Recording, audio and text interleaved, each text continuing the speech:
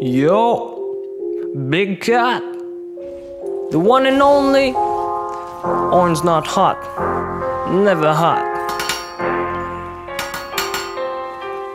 Boom. Clot plus clot, that's male. Minus clot, that's Shane Quick Shop. Everyday forge on the spot. Rubies. See that gold hit the mark. Beat to recover. Anything goes tuck tuck tuck. Your man forging. Hold tight Kog'Maw. I got a Targums. Hold tight AD. Getting more rubies. I tap tap tap on the stone. Buying that locket. Magic mental. Hold tight AD.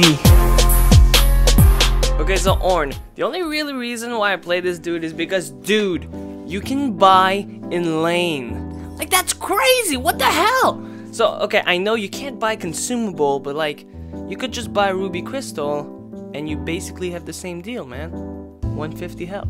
You need more health, buy Ruby Crystal. You need more mana, buy Sapphire Crystal. You need more anything, buy something. Now, Ornn's one of those champ that I just spam all of my abilities and I just hope things work and well apparently it works out for me so so Ornn's Q is weird pillar thing. It's a skill shot that slows and after a few seconds there's a weird pillar thing. If you headbutt the pillar enemies around they will be knocked up but rarely that happens. I mean like most people know you're just not supposed to be around that pillar. Ornn's W is fire bread. So Orn eats some sriracha sauce and spits it out of his mouth, dealing damage. He also gets a shield and he causes them to brittle, which basically means CC does CC for longer. Imagine that with a Morgana Q. Also, if you basic attack them, you'll get a small knockback and you'll deal a bit more damage. Also, another cool thing about this ability is if you get CC, you can still move, which is weird. So Ornn's E is a dash, and if it hits a wall or that weird pillar thing, well, you'll knock up enemies.